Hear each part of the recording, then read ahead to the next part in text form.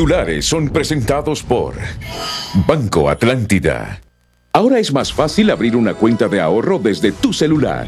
Descarga Atlántida Móvil y abre tu primera cuenta de ahorro con nosotros. Detención judicial para el comisionado general de la policía, Leonel Sauceda, y su esposa, capturados este día y acusados por el delito de lavado de activos, según el Ministerio Público. ATIC y Unidad Fiscal de Apoyo al Proceso de la Depuración Policial aseguran bienes muebles e inmuebles a Leonel Sauceda, entre ellos terrenos ubicados en el municipio de Olanchito, en Lloro. Telenoticias accede a información que indica que Sauceda fue investigado por órganos internos de la policía por presunta narcoactividad y tráfico de ilegales cuando fungía en Choluteca. En exclusiva, uno de los investigadores en el caso de Leonel Sauceda revela más detalles que habrían llevado a su caída. Comisión Depuradora y Didalpol dicen que Leonel Sauceda pasó los filtros que le permitieron su ascenso. Esperan se produzca debido proceso. Ejecutivo envía al Congreso proyecto de ampliación de presupuesto en más de 100 millones para el Ministerio Público, el cual se espera sea aprobado a la brevedad. Grupos criminales mexicanos capturan a una menor de 7 años y a su tío que iban en la caravana y envían videos pidiendo rescate a su familia. Comisión Reguladora de Energía insiste que si la segunda semana de marzo la ENE sigue sin contratar energía, los racionamientos de electricidad serán inevitables. Congreso conforma comisión especial que conocerá las postulaciones para elegir al próximo comisionado nacional de los derechos humanos. Carlos Eduardo Reina presenta su movimiento interno en libre con la incorporación de Yulisa Villanueva y Carlos Chactur. Los titulares fueron presentados por Banco Atlántida. Ahora es más fácil abrir una cuenta de ahorro desde tu celular. Descarga Atlántida Móvil y abre tu primera cuenta de ahorro con nosotros. Este es su noticiero TN5 Estelar con Renato Álvarez y Cristina Rodríguez. Este martes, las autoridades del Ministerio Público, por medio de la Unidad Fiscal de Apoyo al Proceso de la Depuración Policial, procedieron a la captura del comisionado general de la policía, Leonel Luciano Sauceda Guifarro, junto a su esposa Patricia Esbeltiana Estrada Pacheco, acusados del delito de lavado de activos. El comunicado del Ministerio Público señala que junto a la captura de los imputados se procedió también al aseguramiento de bienes de origen ilícito, ocho de ellos muebles e inmuebles, vehículos y 23 corresponden a productos financieros propiedad de los imputados. De los bienes asegurados, tres son terrenos ubicados en el municipio de Olanchito, departamento de Lloro, con una extensión de 100 manzanas.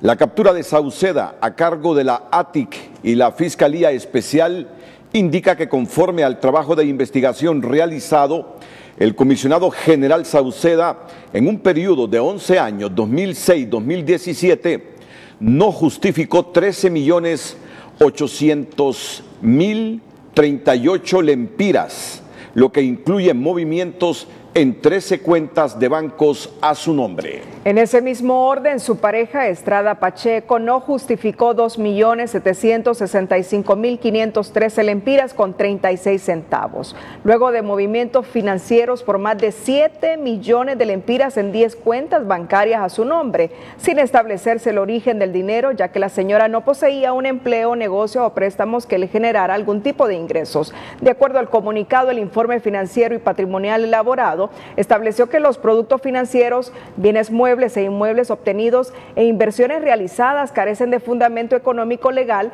pese a que el desglose salarial del acusado en la fase investigada asciende a casi 6 millones de lempiras sin deducciones. Además, se constató que algunos bienes adquiridos hasta por un millón 500 mil empiras no existía huella financiera, puesto que se pagaron en efectivo, por lo que no se determina la procedencia de los fondos. Leonel Sauceda ingresó a la policía policía el 22 de enero de 1992 con el grado de subteniente y el 30 de enero de 2020 fue ascendido al rango de comisionado general de la policía.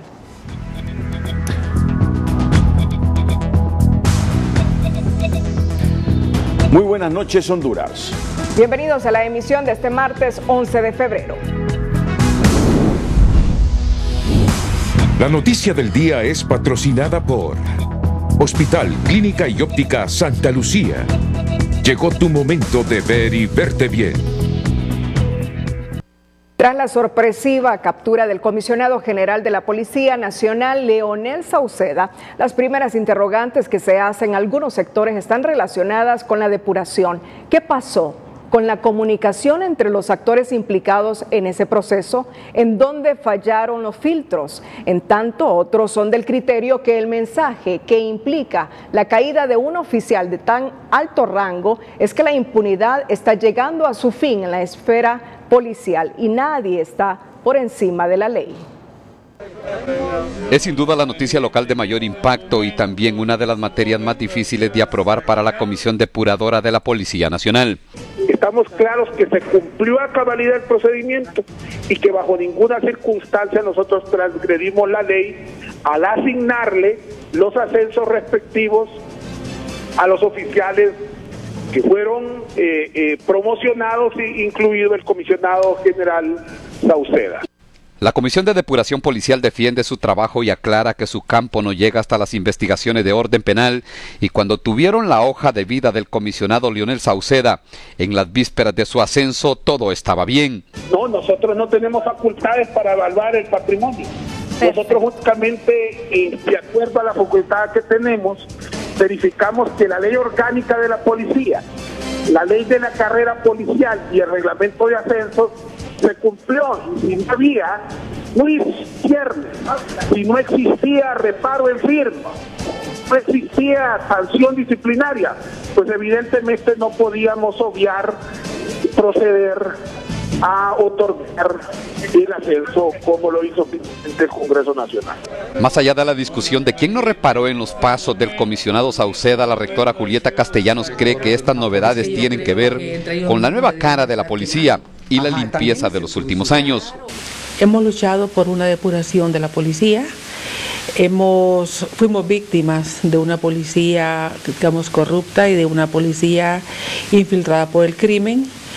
Y, y vemos con esperanzas que hoy se esté acabando aquellos momentos donde habían personas por encima de la ley.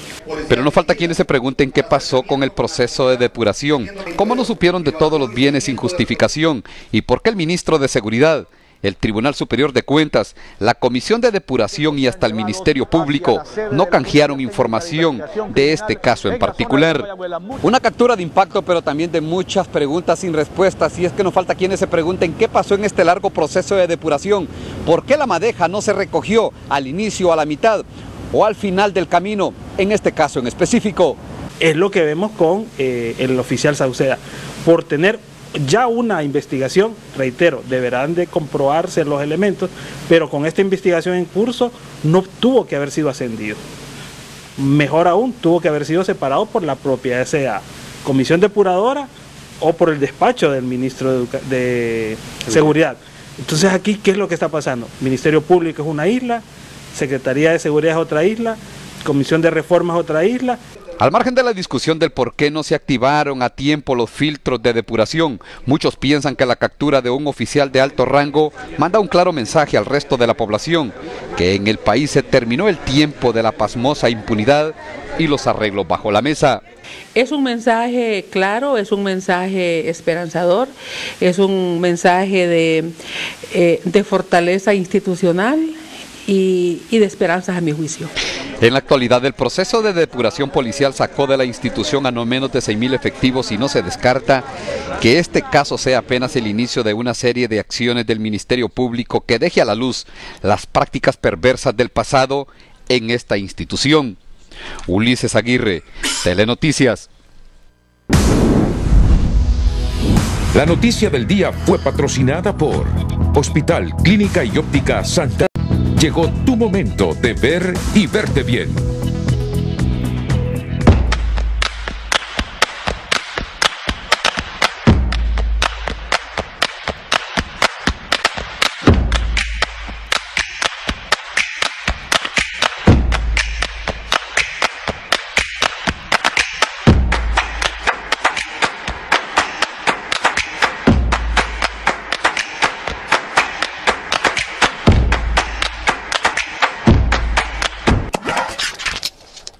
Tras desarrollarse la audiencia de declaración de imputado, un juez de los tribunales de justicia ordenó la detención judicial del comisionado general de la policía, Leonel Sauceda, y su esposa, Patricia Estrada Pacheco, y fijó la audiencia inicial para el viernes 14 de febrero. Sauceda fue enviado al primer batallón de infantería y su esposa a la cárcel femenina de Támara. La unidad de apoyo fiscal al proceso de depuración policial logró esta tarde detención judicial para el comisionado general Leonel Luciano Sauceda Guifarro y para su esposa Patricia Esbeltiana Estrada Pacheco, ambos acusados por el delito de lavado de activos. El juez de letras penal con jurisdicción nacional ha remitido a los imputados en el caso del ciudadano Leonel Sauceda al primer batallón de infantería y en el caso de su esposa Patricia Estrada Pacheco ha sido remitida a la penitenciaría nacional femenina de adaptación social. Se ha convocado a las partes para este próximo 14 de febrero a las 9.30 de la mañana para la audiencia inicial. El pasado lunes la Unidad Fiscal de Apoyo al Proceso de la Depuración Policial presentó requerimiento fiscal contra Sauceda Guifarro y su esposa, solicitando para ambos orden de captura y aseguramiento de 33 bienes propiedad de ambos acusados, petición que el Juzgado de Letras con jurisdicción nacional en materia penal declaró procedente creemos que, que después de todos los tamices, después de todas las circunstancias que pasa un oficial de policía que ha afrontado con, su vida, con sus acciones, eh, diferentes situaciones del crimen organizado, jamás el Ministerio Público va a poder coincidir un depósito que no sea producto de su trabajo o producto de su entorno familiar y creemos firmemente en la inocencia de Leonel Sauceda Guifarro y es por eso que el día viernes que está programada la audiencia inicial, con la misma prueba que se le ha acreditado al Ministerio Público, demostraremos la inocencia de, de esta persona. Los productos financieros, bienes muebles e inmuebles obtenidos por ambos acusados, sus inversiones y movimientos bancarios carecen de fundamento económico legal, concluye un informe financiero y patrimonial elaborado por la Unidad de Análisis Financiero del Ministerio Público, dando positivo para lavado de activos. Este ex compañero de Sauceda Guifarro en la Escuela de Carabineros de Chile no comparte esta conclusión del Ministerio Público egresado con honores eh, de la escuela de la escuela de carabineros del general Carlos Ibáñez del Campo en Chile. Eh, y así como también nuestra Academia Nacional de Policía aquí en Honduras, la cimentación de valores éticos y morales, principios de responsabilidad son muy cimentados desde muy pequeños. En 32 años de carrera que tiene, que tiene mi comisionado general lo ha podido, lo ha podido demostrar en las diferentes asignaciones que él ha tenido, ¿verdad? Es por ello que hacemos alusión también a, su, a su formación, ¿verdad? Tanto en su promoción, destacadas, eh, destacadas participaciones, siendo el primer lugar también, tanto en Chile como en la promoción, en la 12 promoción que él tiene acá, ¿verdad? El de activos es parte de un catálogo de delitos que no admite otra medida que no sea la detención judicial y según investigación realizada por la Agencia Técnica de Investigación Criminal, ambos acusados no justifican un patrimonio conjunto de 16.567.531 lempiras y 71 centavos obtenidos en 11 años, entre 2006 y 2017. Esta noche Telenoticias le ofrece algunos pormenores de investigaciones hechas por los órganos internos de la Policía Nacional que habrían servido de base a la investigación en contra del comisionado general de la Policía, Leonel Sauceda, a quien la Fiscalía acusa por el delito de lavado de activos.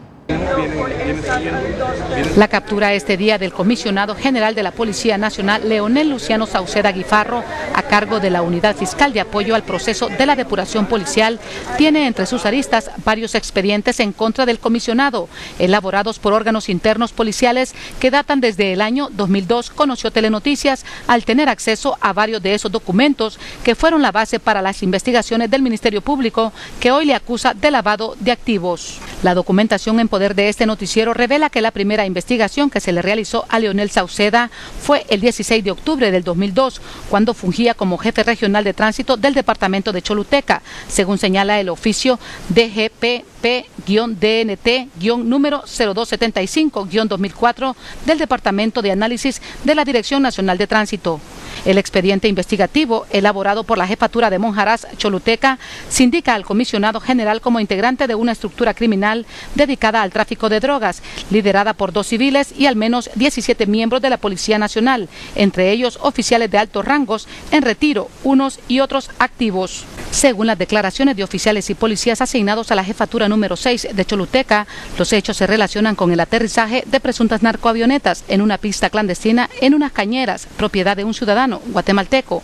La supervisión del aterrizaje de las aeronaves era dirigido por quienes conformaban esta presunta red criminal, entre ellos Leonel Sauceda. Una investigación en ciernes sobre el aterrizaje de esas aeronaves en esas cañeras llevó a modificar la ruta, así como a un movimiento de policías en la zona. Fue así como una narcoavioneta intentó aterrizar en las cañeras desconociendo las últimas disposiciones de la red y al no poder aterrizar lo hizo en una carretera de tierra cerca de una finca conocida como Ilusiones en el potrero El Jícaro en la aldea Tulito, hasta donde llegó Sauceda en compañía de otros oficiales de policía de alto rango a custodiar la aeronave, señalan los informes en poder de las autoridades policiales desde hace varios años. Los expedientes en contra del comisionado general de la policía señalan que este incluso habría tenido participación en la liberación del piloto y copiloto de una de las aeronaves colombianas que fueron capturados por la policía en uno de los operativos. Estos policías no pertenecían a la red que presuntamente controlaba Sauceda y otros mandos policiales. Esos ciudadanos capturados fueron el colombiano Luis Mauricio Palacios Giraldo y el guatemalteco José Ramón Gamboa Lara, este último familiar del propietario de las cañeras donde caían las aeronaves. La policía que estaba en el operativo los dejó ir, pero más adelante otros policías que no eran parte de la red los capturaron y los llevaron a una celda en la jefatura 6 de Choluteca. En las declaraciones del piloto y copiloto se especifica que los oficiales que llegaron al lugar del aterrizaje de la avioneta se encargaron de descargar la droga y los dólares que se transportaban y luego incineraron la avioneta y les permitieron su fuga porque todo estaba arreglado con los dueños de la mercadería. Una vez en la celda, llega a la misma Sauceda y los altos mandos policiales, que eran parte de la red, y según el expediente les dijeron, los detuvieron, ¿verdad? No se preocupen, nosotros vamos a planificar algo para facilitar la fuga. No se preocupen, ustedes tranquilos, cita el documento. Los detenidos fueron trasladados a la Penitenciaría Nacional de Támara. Siete meses después, el 31 de mayo del 2003, los dos pilotos, el colombiano y el guatemalteco, fueron liberados en un falso operativo montado a la altura del cementerio Santa Cruz Memorial cuando venían de la cárcel de Támara y se dirigían a una audiencia en los juzgados de Comayagüela. Hoy ambos están prófugos y son buscados por la Interpol, conoció Telenoticias. La investigación señala que cuatro de los que participaron en las pesquisas contra esta red fueron asesinados en medio de una serie de crímenes registrados en ese periodo. Otro elemento que sirvió de base para la investigación en contra de Sauceda fueron registros policiales en los cuales se indica que cuando éste tenía el cargo de subteniente, asignado a la entonces Policía de Hacienda en la aduana de Lamatillo, en Valle, Leonel Sauceda también habría sido miembro de una supuesta red de drogas y tráfico de ilegales, liderada por José Natividad Luna Pereira, conocido como Chepe Luna, asesinado hace unos años en la capital. La investigación indica que en este caso, Sauceda aprovechaba su cargo para cometer delitos de defraudación fiscal y cobrar hasta 50 mil empiras por furgón. Automotores que transportaban mercadería panameña, los cuales cambiaban la póliza por transporte de cacao para evadir el pago de impuestos. Este primer informe, elaborado por la Dirección Nacional de Tránsito en el 2010, lleva a la Inspectoría General de la Secretaría de Seguridad a efectuar su propia investigación. En él se indica que de estas andanzas tenían conocimientos los ex directores de la Policía Nacional, Coralia Rivera de Coca y José Luis Muñoz Licona, pero el caso fue engavetado.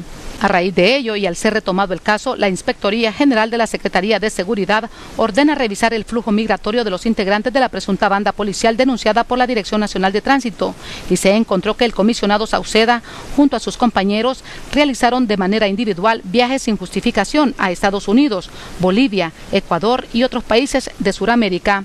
Estos hallazgos fueron incorporados en la nueva investigación y enviados también al exdirector de la Policía Nacional, Juan Carlos El Tigre Bonilla, el 27 de junio del 2012, quien un año después lo remitió al entonces director de la Dirección Nacional de Investigación Criminal, José Leandro Osorio Santos, último que autorizó el nombramiento de una comisión para investigar nuevamente a Sauceda y los presuntos miembros de la banda policial implicada en asuntos de criminalidad organizada.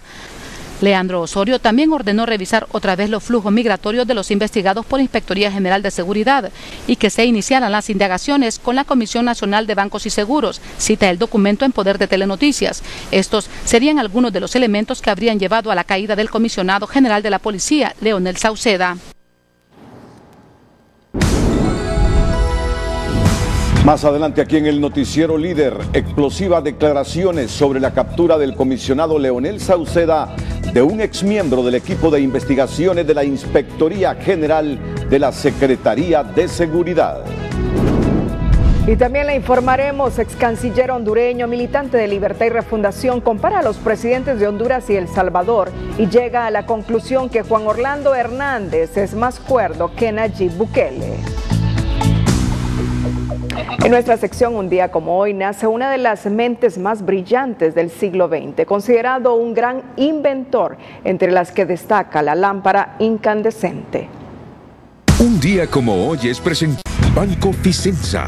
Te conoce, te entiende. Un día como hoy, el 11 de febrero de 1847, nace Tomás Alba Edison, importante inventor y hombre de negocio de los Estados Unidos. Entre sus más importantes inventos se encuentra el fonógrafo, primer aparato capaz de grabar y reproducir sonido, la lámpara incandescente, primer forma en que se generó luz a partir de energía eléctrica. Asimismo, en sociedad con JP Morgan fundó General Electric, la famosa empresa transnacional de electrodomésticos. En Estados Unidos, Tomás Alba Edison se le considera como una de las mentes más importantes inventoras del siglo XX, con más de mil patentes, lo que significó una transformación en la actividad de inventar, desde un simple entretenimiento a la creación de una empresa. Es importante mencionar también que Edison contaba con un volumen elevado de ingenieros muy sobresalientes trabajando para su compañía, lo que nos indica que muchos de estos inventos fueron solo firmados por él, pero inspirados por otros. Tomás Alba Edison muere el 18 de octubre de 1931. Un día como hoy fue presentado por Banco Ficenza. Te conoce, te entiende. Informaremos también más adelante, analistas hondureños ven en el actual presidente de El Salvador una amenaza para Honduras, versión con la que disiente el exsecretario de Defensa Aristides Mejía, quien asegura que los problemas de Bukele no son con el Estado de Honduras, sino que con el gobernante hondureño. El precio del dólar y el euro son presentados por Bacredomatic. Regresa el giro ganador de Bacredomatic con 15 mil premios al instante.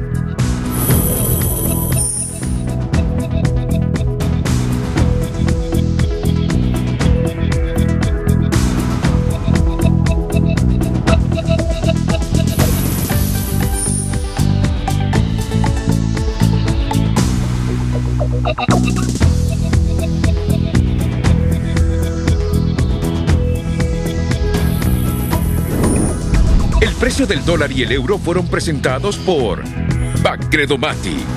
Regresa el giro ganador de Bacredomatic con 15 mil premios al instante. Sobre el tema de la captura del comisionado Leonel Sauceda se ha referido esta tarde la comisionada retirada de la policía y diputada de Libertad y Refundación, María Luisa Borjas eh, el día de, la votación de los ascensos, nos trajeron a último minuto el listado de los oficiales que iban a ascender. Solicitamos las hojas de servicio y nos negaron las hojas de servicio. Por eso la bancada de Libertad y Refundación votó en contra. Fueron 30 votos en contra, porque no podíamos votar a ciegas. Pero investigando la conducta de estos oficiales. Por ejemplo, los siete generales ascendidos, los siete tienen irregularidades en su, en su función policial. Y bueno, y esta captura de Sauceda es solo la punta del iceberg, porque van a empezar a rodar cabezas. Y para mí tenía que comenzar con el ministro de Seguridad, una persona mencionada eh, en vínculos con el narcotráfico, no solo por los cachiros, sino también por los hermanos Flores de Venezuela, como el contacto para introducir la droga al país. También sobre esta captura ha reaccionado la diputada del PINU socialdemócrata Doris Gutiérrez. Pasó lo que siempre pasa. Aquí al Congreso Nacional ya vienen seleccionados los que deben ser ascendidos, tanto en lo de las Fuerzas Armadas como en la Policía Nacional. Las comisiones encargadas de hacer estos ascensos ni siquiera revisan los currículums, ni siquiera investigan si lo que dicen los currículums es verdad o no. Y por eso, incluso aquí ha habido muchos cuestionamientos de algunos oficiales que han sido ascendidos, que nosotros sabemos que tienen problemas de violencia doméstica, que tienen problemas de no suministrar alimentos a sus hijos. La Dirección de Asuntos Disciplinarios Policiales, en un comunicado público sobre la captura del comisionado general Leonel Sauceda, aclara que esa dependencia hasta esta fecha no recibió información alguna, denuncia o informe que lo llevara a iniciar una investigación en contra del oficial Sauceda. Asimismo, señala que la DIDADPOL dará seguimiento y monitoreo al proceso penal que enfrenta el comisionado general con el fin de instar a la Secretaría de Seguridad que adopte oportunamente las acciones administrativas en caso que se dicte auto de forma de proceso en contra del imputado. El presidente Hernández se mostró sorprendido por la captura del comisionado Sauceda y calificó la acción como una muestra de independencia del Ministerio Público y además confió que en este y en otros casos se respete el estado de inocencia, pues el país se encamina a promover un verdadero estado de derecho, dijo Hernández a los medios de prensa. ¿Aló? En declaraciones exclusivas a Telenoticias, un ex integrante del equipo de investigación de la Inspectoría General de la Secretaría de Seguridad revela detalles que ahondan el por qué cayó Leonel Sauceda. La periodista Raquel Azo hizo la entrevista. Eh, señor, ¿desde cuándo se viene dando esta investigación con el comisionado, ahora general, creo que lo han nombrado, Leonel Sauceda? ¿Desde cuándo tienen conocimiento ustedes de que él está siendo investigado? Bueno, eh, según los archivos de la Inspectoría General de la Secretaría de Seguridad, a este oficial se le vienen siguiendo investigaciones desde el 16 de octubre del 2002 que bajaron una narcoavioneta en, en la aldea San José de la Landa, Choluteca, donde eh, hizo acto de presencia un grupo de oficiales de la policía, hubieron políticos, hubieron empresarios eh, que hicieron acto de presencia, como que ya sabían que la narcoavioneta iba a aterrizar en ese lugar donde se supone, supuestamente, según ellos, la, la, la droga fue fue incinerada junto a la, a la narcoavioneta cuando aterrizó, pero eso es falso, eso es falso, porque eh, en las investigaciones se, se, constató y se pudo comprobar que la droga la bajaron y la llevaron a, un, a una unidad de la Policía Nacional. Ahora, ¿y Leonel Sauceda, eh, por qué está vinculado en este caso específico? Bueno, en ese entonces, según la documentación que, que y las investigaciones, eh, él era uno de los oficiales que estaba eh, de jefe departamental de la Policía de Tránsito en Choluteca y algo otros funcionarios de policiales que estaban asignados en diferentes partes del país que también hicieron acto de presencia y algo otro eran miembros de análisis de inteligencia, de inteligencia de la Policía Nacional. Ahora bien, a él eh, hubo una denuncia en contra de él, por eso se inicia la investigación, por ese caso específico. Sí, mire, eh, se recibió un informe, eh, la directora creo que fue eh, doña Coralia, que recibió, o el oficial, el ayudante, no sé quién fue, el que recibió un, un informe eh, que fue elaborado por un policía, recuerdo yo, que estuvo asignado en Monjaraz.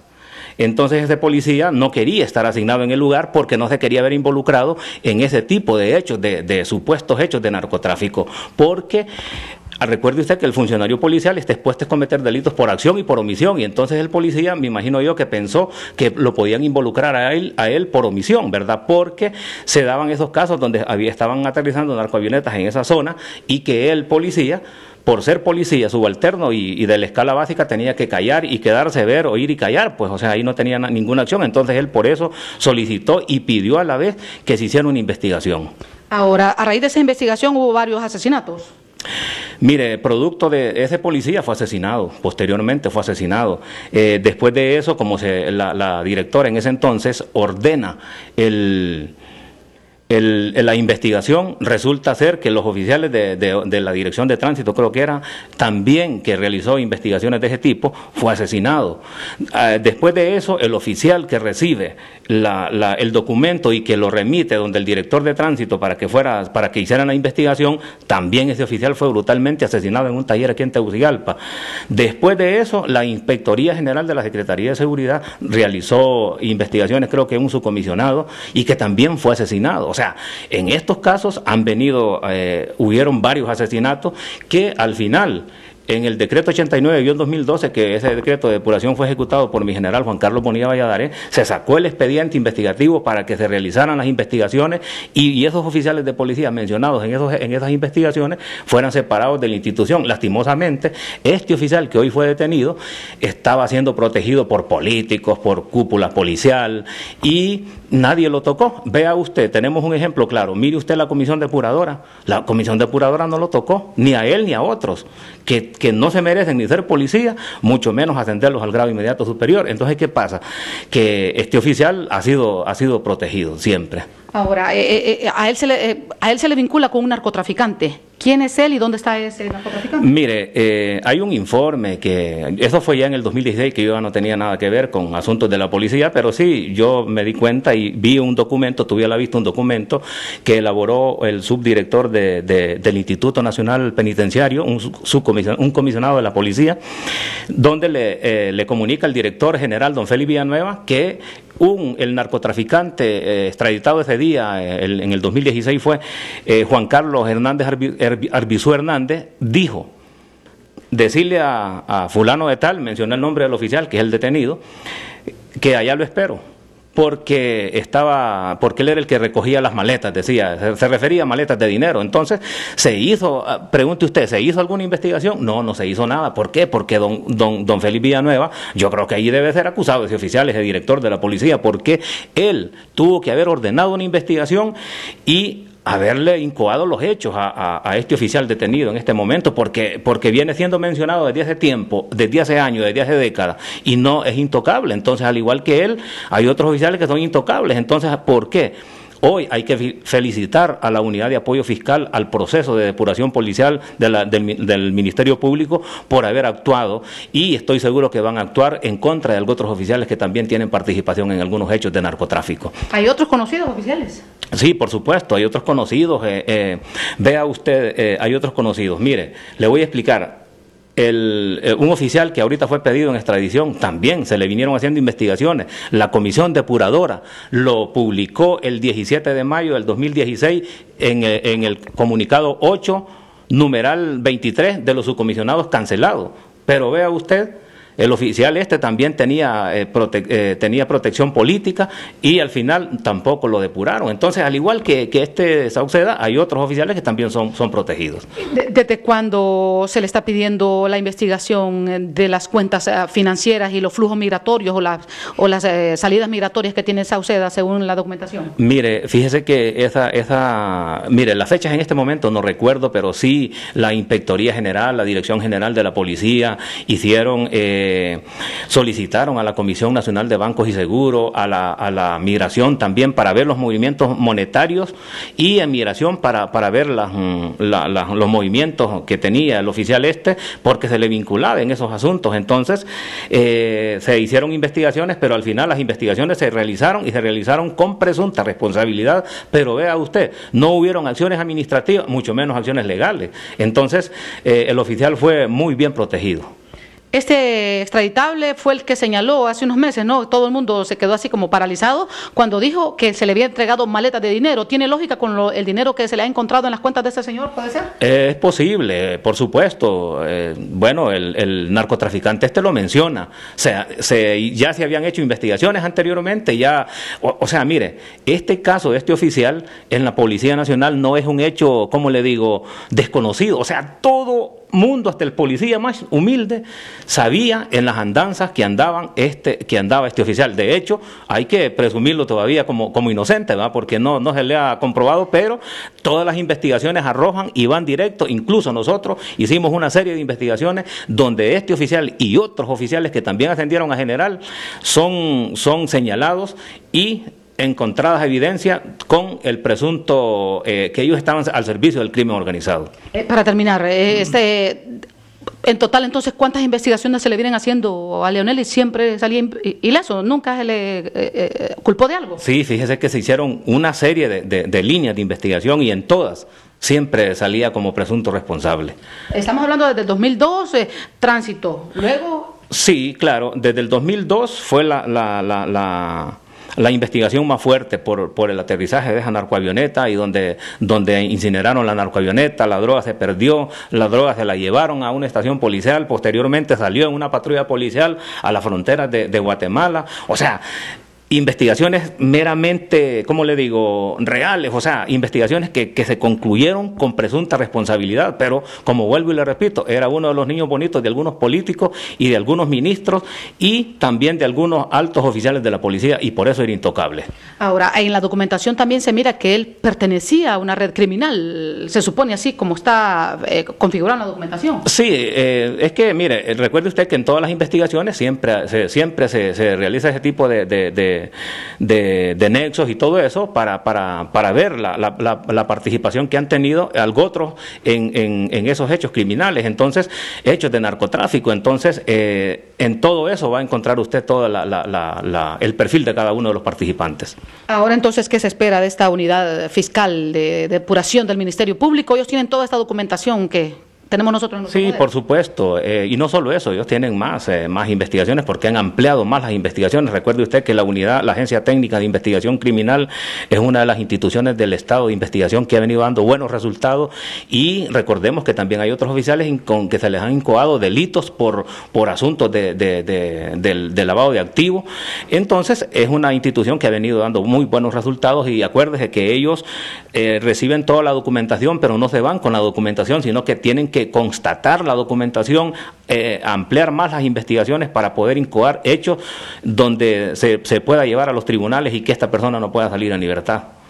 Para terminar, eh, en, en algún momento de las investigaciones o los documentos que usted tuvo acceso, eh, ¿pudo constatar de los bienes que tenía Leonel Sauceda o hasta ahí no llegaron, sino que se esperó de los bienes y el dinero que se supone manejaba? Sí, mire, eh, se hicieron, mire, cuando se sacan los expedientes de los archivos de la Inspectoría General, mire qué, qué penoso y qué triste que cuando se sacan esos expedientes apartan algunos expedientes y otros sí. O sea, como quien dice, estos no los vamos a tocar porque aquí hay oficiales que no los podemos tocar. O sea, con hechos comprobados donde hay movimientos migratorios, movimientos eh, monetarios en sus cuentas y que se hicieron investigaciones eh, totalmente reales, pero que al final no, no, no pasó nada porque estos oficiales, pienso yo, que estos oficiales de la policía, de las cúpulas policiales que protegieron a este oficial, deben de también ser incoados, deben de también ser llevados a los tribunales por encubrimiento a estos oficiales que, que, tanto daño le causaron a, a una institución tan noble como es la Policía Nacional. El Poder Ejecutivo presentó este martes ante el Congreso Nacional un proyecto de decreto para incrementar el presupuesto del Ministerio Público en más de 134 millones de lempiras, a fin de fortalecer la lucha contra la corrupción, la impunidad, el narcotráfico y el crimen organizado en el país. En ese sentido, el ministro de la Presidencia, Eval Díaz, destacó que el proyecto contempla que parte del presupuesto para el ejercicio fiscal 2020 estaría destinada a ser utilizada en la contratación de 100 nuevos fiscales, 50 nuevos agentes de la Agencia Técnica de Investigación Criminal y 50 agentes de investigación de la Dirección Nacional de Lucha contra el Narcotráfico.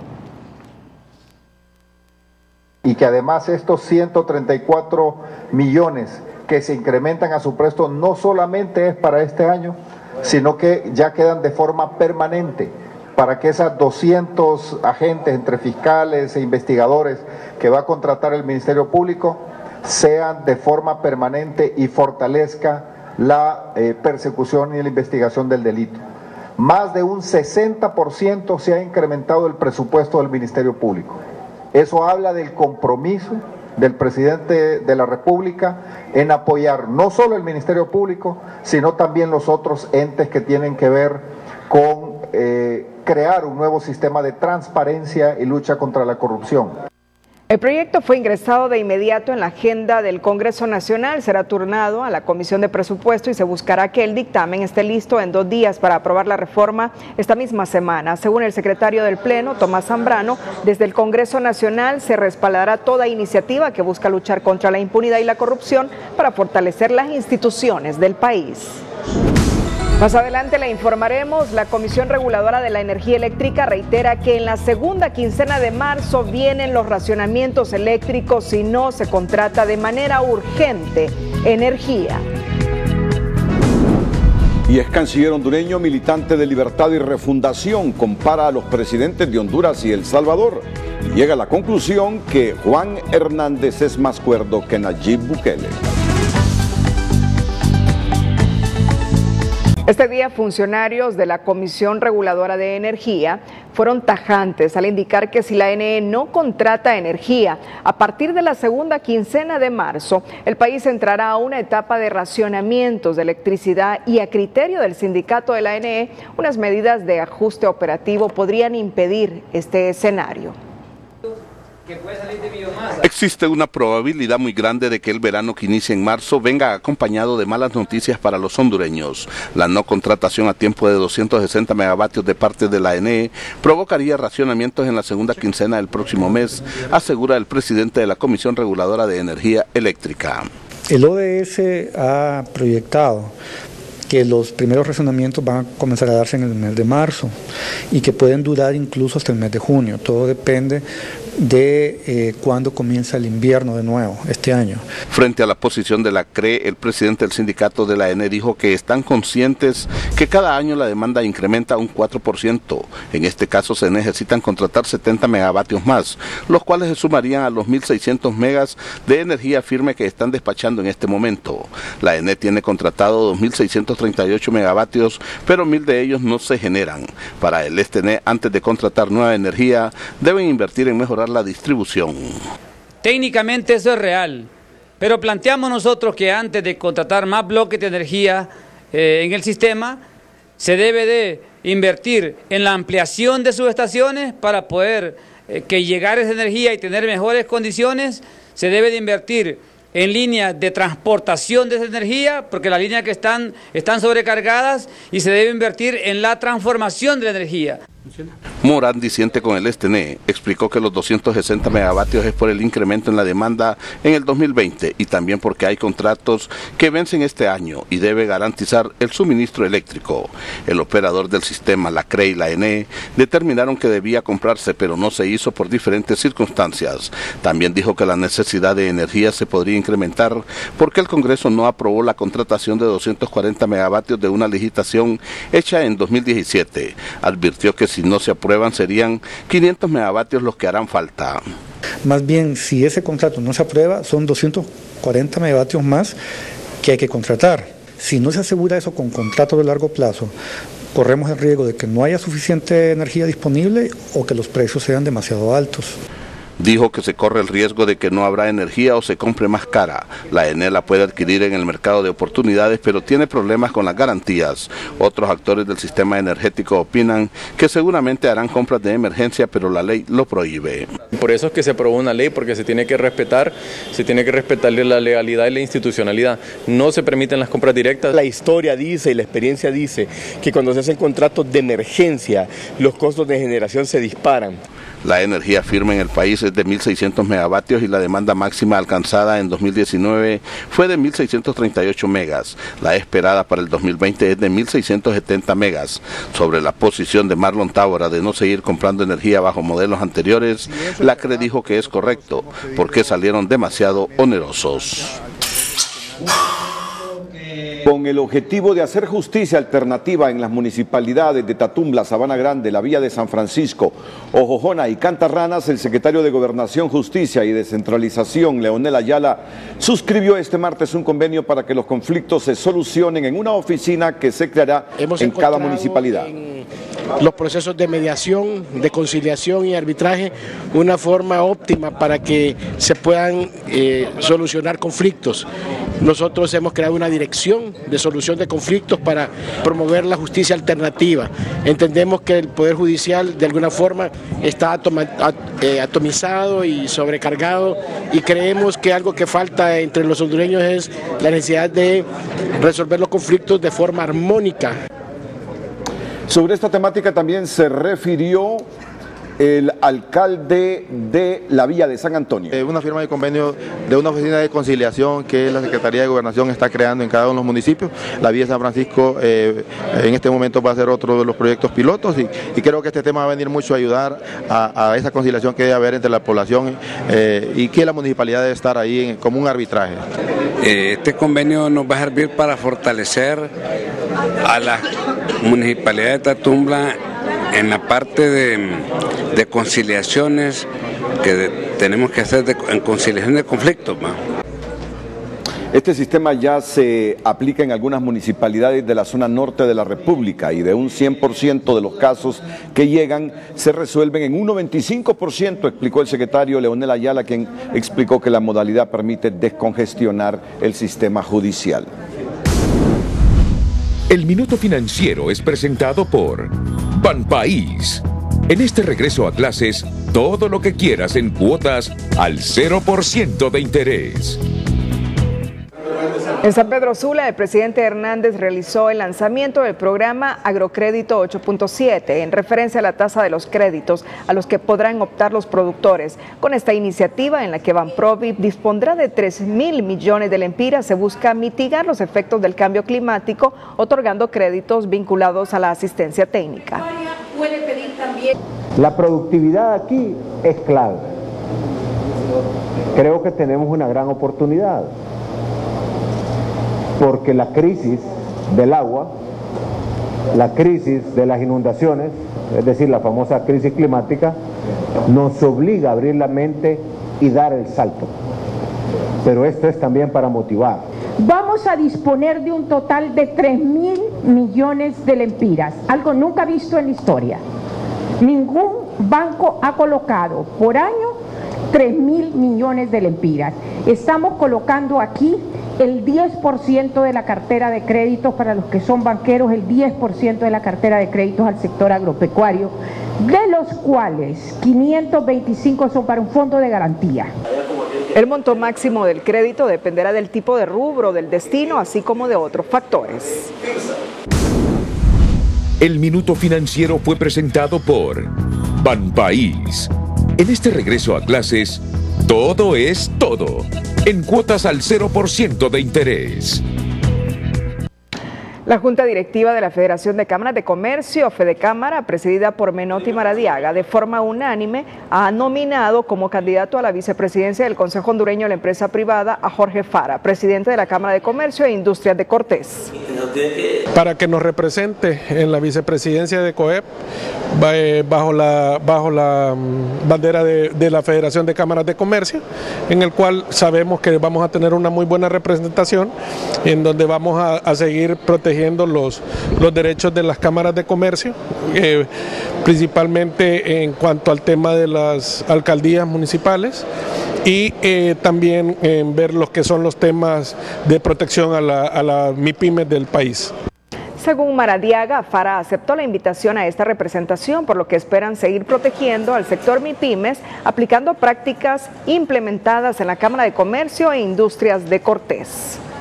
Integrantes del Consejo Nacional de Inversiones descartan el cierre de los vuelos internacionales en el aeropuerto Ramón Villeda Morales de San Pedro Sula y adelantan que habrá una concesión para efectuar ajustes a la terminal aérea y mejorar su servicio. Toda una confusión ha surgido por el supuesto cierre a los vuelos internacionales en la terminal aérea Villeda Morales de la Lima Cortés, debido a la apertura del Aeropuerto Internacional de Palmerola. La directora ejecutiva del Consejo Nacional de Inversiones aseguró que eso no va a ocurrir y señaló que ambas terminales aeroportuarias se mantienen. No está en los planes de gobierno cerrar ninguno de los aeropuertos, más bien eh, lo que se desea es dinamizar lo que ya existe. Eh, en especial, pues eh, se está viendo pues las posibilidades simplemente porque como están atados algunos acuerdos de operación, que están atados unos aeropuertos a otros, ofrecer también un paquete que sea rentable para cualquier inversionista que venga a operar. Para los economistas, el cierre del aeropuerto Villada Morales a vuelos internacionales no es posible porque se generarían daños al turismo, la atracción de inversión y por ende perjuicios económicos. Lo que sí están seguros es que la terminal aérea presentará incomodidades en sus servicios por las remodelaciones previstas trae beneficios porque se va a ampliar, el aeropuerto se va a revalidar su funcionalidad, se va a certificar y eh, esto generará quizá alguna suspensión de algunas actividades que normalmente está ejecutando el aeropuerto de la mesa, pero no significa un cierre o una suspensión de su categoría internacional. Pensar que cerrar temporalmente o, cerrar una porción del aeropuerto obviamente va a tener eh, consecuencias muy perjudiciales para esos inversionistas que, están llegando, para esos turistas, para en general va a tener un, impacto negativo. Empresarios nacionales se muestran satisfechos por la aclaración y por las nuevas inversiones en el aeropuerto, pero aseguran que se mantendrán vigilantes. Acordémonos que San Pedro Sula y Tegucigalpa son los puertos más eh, los puertos de aéreos más importantes del país y vamos a seguir eh, vigilantes a que ya eh, Palmerola dijo de que no, no estaba interesado en lo que es el aeropuerto de San Pedro Sula y vamos a ver de que sigamos mejorando lo que es el servicio que presta y principalmente las mejoras en las instalaciones que tanto se necesitan. Para los inversionistas todo se va a aclarar cuando inicie operaciones Palmerola y siga prestando los mismos servicios del aeropuerto Villeda Morales. La noticia positiva es presentada por Pollo Norteño, frescura que se nota. Un programa denominado Aprendiendo Haciendo que las autoridades de INSEP implementaron en el municipio de Guinope, el Paraíso, permitió la pavimentación de una calle céntrica en la comunidad, labor que les permitió a 25 mujeres graduarse como maestras de obra. Este trabajo porque nunca nos imaginamos que iba a venir este proyecto para acá, pero para mí fue muy bonito y que no, no sea la primera vez, pues, sino que siga esto, ¿verdad? Ya que se dio esto para acá, este pueblo de Guinope, este municipio de Guinope, que es muy bonito. Entonces yo quisiera que continuara esto, ¿verdad? Ya que se empezó, pues que se continúe. Que estemos eh, dando un giro completamente donde estamos incorporando a las mujeres al, sector construcción. Hoy estamos viendo pues la graduación y prácticamente eh, la construcción que han hecho cada una de ellas en esta importante obra aquí en Guinope. Así es que nos sentimos honrados. Con este programa que se realiza en algunos municipios se les permite a las mujeres incursionar en un nuevo campo y sobre todo crear fuentes de empleo para cubrir las necesidades en sus hogares.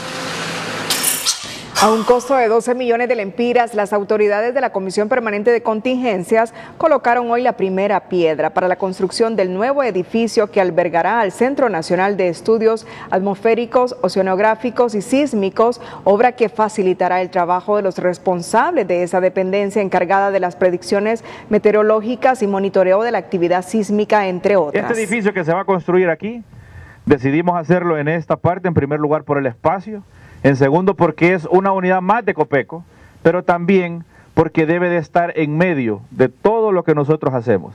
El Centro Nacional de Estudios Atmosféricos, Oceanográficos y Sísmicos es la primera herramienta que ocupamos para poder atender a nuestra gente.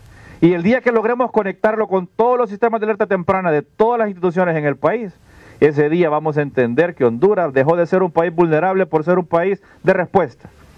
El área de construcción del edificio es de 675 metros cuadrados con el fin de brindar mejor servicio a la población y contará con un parque solar para asegurar la energía en condiciones climatológicas adversas. La noticia positiva fue presentada por Pollo Norteño, frescura que se nota. Las elecciones estudiantiles en la Universidad Nacional Autónoma de Honduras, previstas para el mes de marzo, tienen un costo global de 28 millones de lempiras.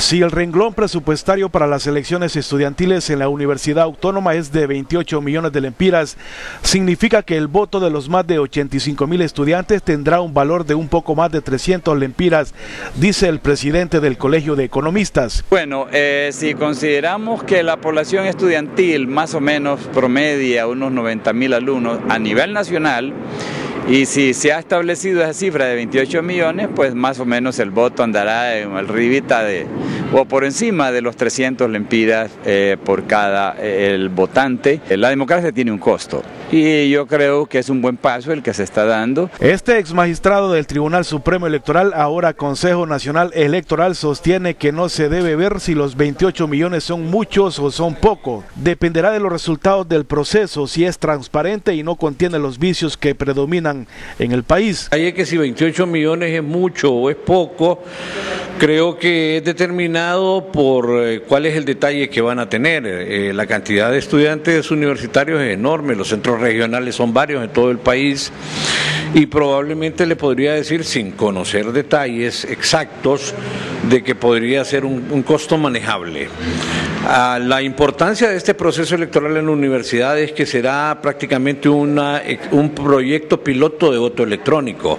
Para este economista del Foro Social de la Deuda Externa, los más de 85 mil estudiantes hacen que el proceso sea costoso y necesario dentro de la Universidad Autónoma. Sin duda que es necesario las elecciones para buscar eh, la mayor democratización en la toma de decisiones en, la Universidad Nacional Autónoma de Honduras. El asunto aquí es que sin duda la población estudiantil supera los 80 mil, 90 eh, mil estudiantes, es entonces que sin duda es una eh, elección costosa. El vicerrector de Asuntos Estudiantiles, Ajax Irías, en comunicación con TN5, explicó que con los 28 millones de lempiras se comprará equipo tecnológico para el proceso y luego se trasladará a las áreas académicas donde se necesita. Significa que será una inversión con doble propósito. Sí, Mario, van a comprarse un lote de computadoras donde para eh, que se van a utilizar en las estaciones de votación que se van a poner en la U, en diferentes sitios. Eh, después esas computadoras se van a trasladar a las áreas de las carreras técnicas como informática y sistemas que se han creado en algunos centros regionales. Actualmente el proceso eleccionario en la Universidad Autónoma está nivel de las inscripciones de los movimientos y se busca elegir a las autoridades educativas a nivel nacional. Más de 2.000 cargos de elección popular en la máxima casa de estudios. Más adelante, analistas hondureños ven en el actual presidente de El Salvador una amenaza para Honduras. Versión con la que disiente el exsecretario de Defensa Aristides Mejía, quien asegura que los problemas de Bukele no son el Estado de Honduras, sino con su gobernante. Este martes, el aspirante presidencial por libre, Carlos Eduardo Reina, presentó su movimiento denominado Nueva Corriente, que tuvo entre sus novedades la incursión en la política de la exdirectora de Medicina Forense, Yulisa Villanueva, y del abogado Carlos Chactur, último que ha trascendido a la opinión pública por ser del equipo de defensa del extinto capo de la droga, Magdaleno Mesa, asesinado en El Pozo. Una persona a quien admiro mucho el dirigente de Libertad y Refundación, Carlos Eduardo Reina, presentó oficialmente este martes su movimiento denominado Nueva Corriente como una alternativa democrática que busca la unidad de la institución política. Es una nueva idea, es una alternativa, es una nueva corriente. ¿Por qué se llama nueva corriente? Primero porque es nueva, pero se nutre de nuestra lucha desde el 2009. Esta nueva corriente está con su conciencia puesta en la resistencia, pero con su visión puesta en la reconciliación. Según Reina, la nueva corriente no nace para negociar. Tiene objetivos claros como la refundación de Libre y la búsqueda del poder. Es refundar el partido. El segundo objetivo es la toma del poder del gobierno de la nación. Pero el tercer objetivo es la transformación del Estado en un Estado incluyente donde hombres y mujeres tengan derechos iguales. Yulisa Villanueva, exdirectora de Medicina Forense y el abogado Carlos Chactura abordaron el vagón de Carlos Eduardo Reina. Pues aquí, como le digo, eh, muy de buena fe, porque Carlos me ha invitado y definitivamente creo que Carlos es la persona, él está hablando de una fuerza incluyente, donde van a venir mujeres de todo el sector, científicos. Nos sumamos con un solo objetivo, que es el de transformar esta realidad tan dolorosa que sufre el pueblo hondureño. Gilberto Ríos, dirigente de la nueva corriente, aseguró que el movimiento está abierto para las personas de todos los partidos políticos, en especial los liberales, y advirtió que no aceptarán las imposiciones de dedo. No, y rechazamos de toda forma la imposición o el dedazo dentro de, nuestra dentro de nuestras candidaturas y propuestas. Todas tienen que encontrar formas democráticas para ser electas, seleccionados y para que hombres y mujeres sean nuestros representantes en esas planillas. Reina competirá en las primarias de su partido con la ex candidata presidencial Xiomara Castro y con Wilfredo Méndez. En un resumen del programa de debates frente a frente de Televicentro, le contamos por qué, a criterio de los analistas, el presidente de El Salvador, Nayib Bukele, puede convertirse en una amenaza para Honduras.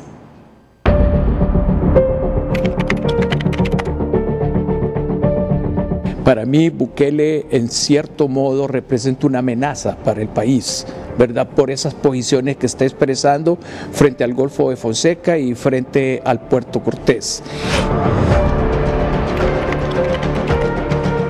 Los datos o los hechos lo que nos indican es que no solo son las fuerzas militares las que están detrás de una probable amenaza, que yo la veo, eh, eh, del Salvador hacia nosotros. También está el factor económico.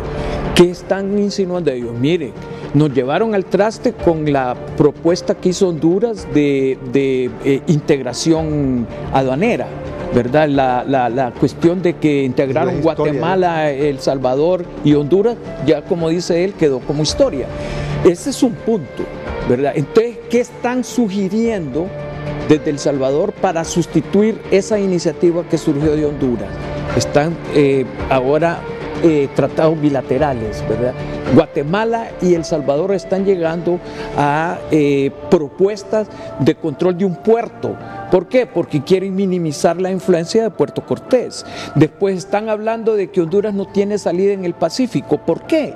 Entonces, detrás de, estas pretensiones hay fuerzas económicas, hay grupos económicos, me parece a mí, salvadoreños fuertes que están insinuando esa posibilidad.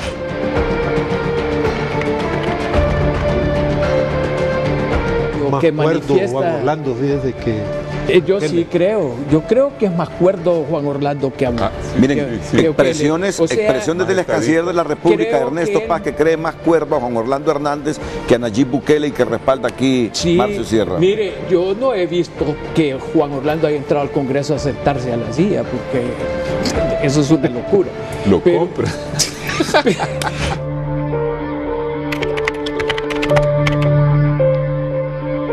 Bukele es un gobernante que rechaza a Juan Orlando, que no lo invitó a su toma de posesión, que lo ha acusado de, hombre autoritario, que lo ha acusado de estar involucrado en, la alta corrupción etcétera, etcétera, no voy a decir más, pero todo el mundo sabe. Y eh, eso ha sido visto por los del Partido Nacional básicamente como un rechazo al Estado hondureño. No es cierto tampoco. Es un rechazo a Juan Orlando. En esa parte es un rechazo a Juan Orlando y eso está aparte de la situación limítrofe política militar que existe en El Salvador. Eso es un rechazo como muchos otros gobernantes rechazan a Juan Orlando y no se quieren tomar una foto porque lo con él porque lo consideran impresentable. Y cuando entremos en polémicas, entremos en polémicas con argumentos, porque él dio un montón de ejemplos de autoritarismo, que yo puedo sacar un montón de ejemplos de autoritarismo cuando él fue ministro de Defensa y que gobernaba Mel. Entonces, también, hubo autoritarismo. Tuvo autoritarismo. No de parte mía, pero de, ¿Verdad? Entonces yo creo que siendo justos... En todos los gobiernos. No, no, exacto. No deberíamos de caer en eso, sino más bien resaltar... Es una característica idiosincrática. Por eso digo Entonces, yo cuando le decía a los demás.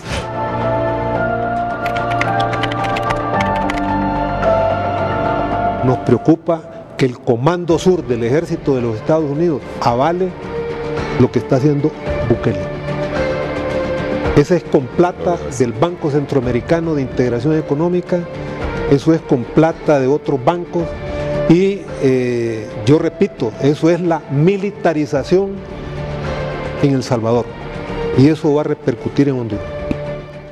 En otra información, el sueño americano de una familia hondureña permanece secuestrada luego que su hija de siete años ha sido tomada como rehén por grupos antisociales en México y amenazan a sus padres con asesinarla si no les entregan 15 mil dólares. La madre, su hija y un tío viajaban en la primera caravana de 2020. Mira, güera, es el último video que te mando. Y de una vez te digo que la feria la necesito. La cantidad de 15 mil dólares pide un grupo de mexicanos a hondureño José Luis Rodríguez por liberar a su hija de 7 años de edad y a su cuñado Donaldo Mengíbar, que fueron secuestrados cuando iban tras el famoso sueño americano. Son 15 mil dólares. 15 mil dólares están pidiendo por los dos ellos. El muchacho andaba el teléfono de él, entonces ahí estaban todos los contactos y les hablaron a las hermanas de él, que mandaron las imágenes, que cómo los tenía. La niña, bueno, ayer mandaron un video que la niña dice que ya no quiere estar amarrada que mandemos el dinero que ella no quiere estar amarrada. El padre hoy pide colaboración económica de sus hermanos hondureños, ya que teme que al no recaudar esa cantidad de dinero le asesinen a su hija de 7 años y a su cuñado, quienes permanecen atados y encadenados. Sí, ayer que los, solo lo daban 24 horas. Ahí andamos pidiendo todas las calles en todo, botellones, hacemos campaña, todo eso. Y yo le, he llamado a todos los que tengan, pues que me apoyen porque esto está difícil, recoger esa cantidad. Amanda Rodríguez, de 7 años de edad, y su madre Norma Mengíbar, quien logró escapar, no así su hermano Donaldo Mengíbar, originario del municipio de Marcovia, Choluteca, permanecen con sus sueños atrapados en un laberinto. Desde Choluteca, Karen Sauceda, Telenoticias. Raquel Romero nos dice en el mundo en TN5 que la organización humanitaria Médicos Sin Fronteras exige que desaparezca el programa Quédate en México al desnudar abusos a migrantes. Bueno, en las condiciones del tiempo para este miércoles, César Quintanilla destaca, eh, satélites europeos constatan una amenaza climática mundial.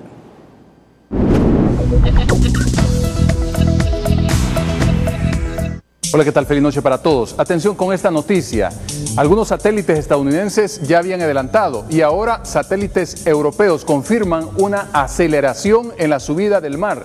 Esto debe llamarnos la atención porque tanto en el Golfo de Fonseca como en el litoral caribe hondureño hay incidencia ya de territorios que están quedando bajo agua. Y atención porque hay un pronóstico científico que Honduras particularmente podría perder de 35 a 40% de su territorio por impacto del calentamiento global. Ojo con eso. Bueno, eh, para esta próxima jornada continuaremos con corrientes de bajo nivel en superficie transportando a ratos un poco de humedad, pero a ratos varía según el comportamiento de los patrones de viento. Y para esta jornada continuamos con el aceleramiento de vientos del este que además del polvo del Sahara, pues también nos dejan con un mar picado en el litoral caribe hondureño, en el Golfo de Fonseca. Así que los que andan en embarcaciones de bajo calado, extremar precauciones. En cuanto a lluvias, ninguna posibilidad. Podrían presentar algunas lloviznas muy dispersas como ha ocurrido en algunos sectores en esta jornada, pero nada importante, nada representativo. Y las temperaturas, pues solo para levantarse, continuarán descendiendo entre 14 y 16 grados en la parte norte de Centroamérica, incluyendo nuestro territorio, y luego se recuperan en el transcurso del día y todas van arriba de 25 grados Celsius a nivel nacional. El pronóstico para esta jornada de miércoles, cuídense mucho, simples queremos como televidentes y no como noticia. Feliz noche.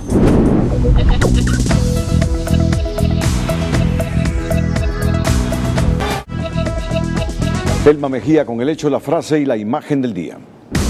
No se vaya a la cama sin conocer es presentado por Diunsa.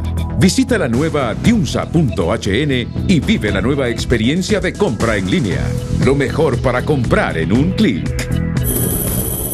La captura del comisionado general Leonel Sauceda, un alto oficial activo de la policía, a quien el Ministerio Público acusa, junto a su esposa, de lavado de activos, es un golpe que indica que la depuración sigue inconclusa y que el manto de la impunidad empieza a ceder en esa institución.